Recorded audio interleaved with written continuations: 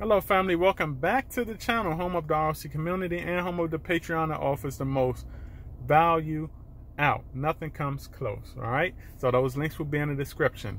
So look, um, I've been on a tear lately uh, making these videos and um, I've been on a tear also trying to just educate individuals and give uh, individuals a clear mindset out here in this up and down uh, crypto space and one of my favorite uh, projects that I'm doing uh, videos on is none, none other than uh, Saitama.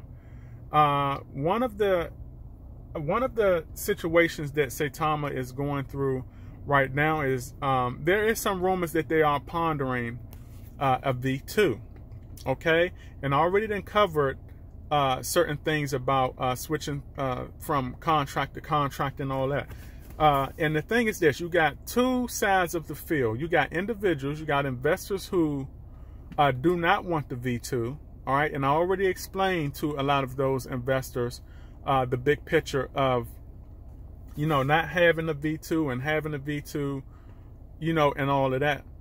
But you do have some individuals up there who, who do want the V2, but they are, the thing is this, they want the V2, but they are rushing it. They want to rush it, okay, because they already don't trust the other contract. So what they're saying is that, you know, they need to hurry up and switch to the, the V2 because, you know, this project is not going to go anywhere with the current contract they have. They believe that if, um, they believe that if Saitama, uh, they, they don't want the liquidity uh, relock on the old contract, okay?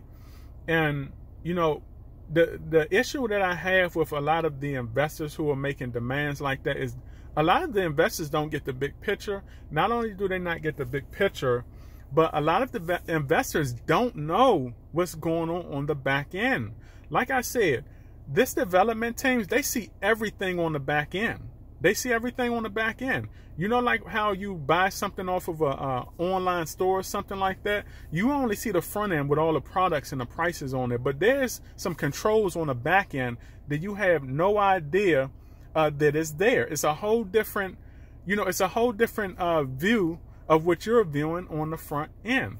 And a lot of, uh, of the uh, the investors out there, they're demanding that we hurry and get this V2.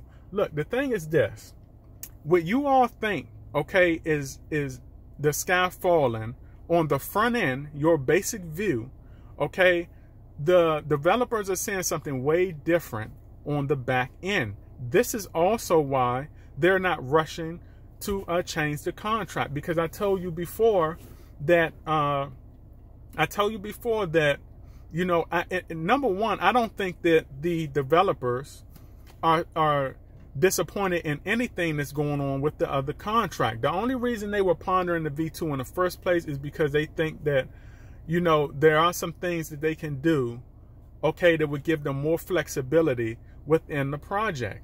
Okay, I think that they're limited on what they can do in this first contract, and there's nothing wrong with that because, like I said, they just got into uh, they they got into crypto. They're still learning as they go.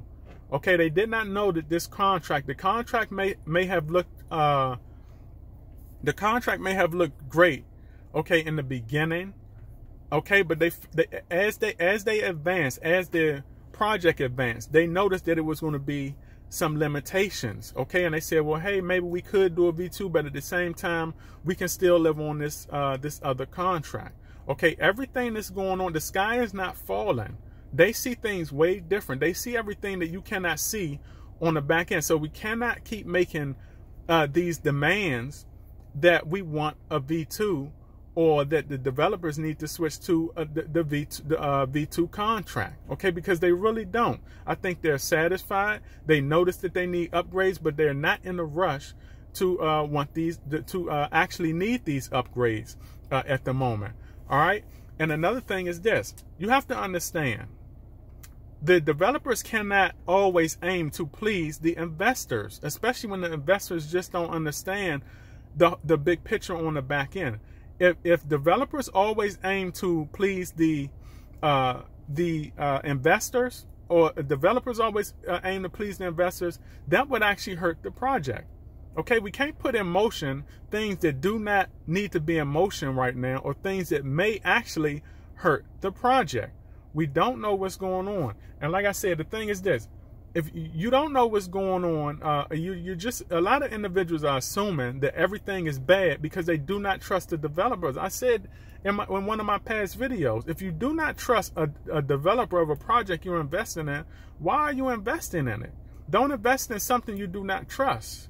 Okay? And I know individuals may say, well, the developer in the project is different. No, it's the whole thing. The developer, okay, is the founder. They're the leader of the project. If you invest in the, the project, you invest investing in the developer also. Okay? It's like a merge. They come together.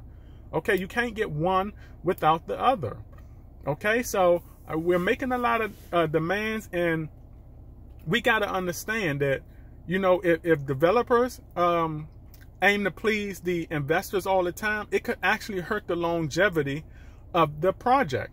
All right, and I think the developers have been doing a good job, okay, of uh, kind of separating themselves from that space. They have been listening to the, they have been listening to the uh, to the investors, okay, but they have not been jumping at their tune every time, okay? Because they see what, look, what you all want with a lot of individuals, and it's not all of you, because not all of you are doing that. So let me rephrase that. What some of you want, okay, does not line up. What some of you want on the front end, okay? For the individuals that want the V2, what you want on the front end, what you want on the front end is not lining up with what the developers are seeing on the back end. It's not matching up. In fact, a lot of stuff you want done, if developers put it in motion, it can actually hurt what they have going on on the back end. Look at the big picture here. Okay, you're not on the back end, you're on the front end. You're on the front end looking at one basic picture. All right, they're on the back end looking at all of the, the paint strokes, okay, all of the okay, they're looking at the whole creation of what created that picture, that, that basic picture on the front end. They're looking at the whole process of how that was created on the back end. You do not see that. Okay, so keep that in mind. What you want on the front end is not lining up or matching on the back end. It can actually hurt the longevity of the project. Okay, so I am for V2 and, and I really don't also care if they don't have the V2. Okay, because I trust their process. I trust that they know what they're looking at on the back end, which is why I'm not saying, oh, we need the V2 because the, the first contract sucks. All right? I can't say the first contract sucks because I don't know what they're looking at back there. I don't know what they're looking at. Okay? So I want to make this video. And once again, I'm going to try my best to continuously educate you all out there. And I hope you're really getting some education from my videos and you're seeing the big picture of everything. All right? So um, this is my video. And remember, all right, every now is history tomorrow, and you even have patience in this crypto uh, space, or you lose in the end. Audi.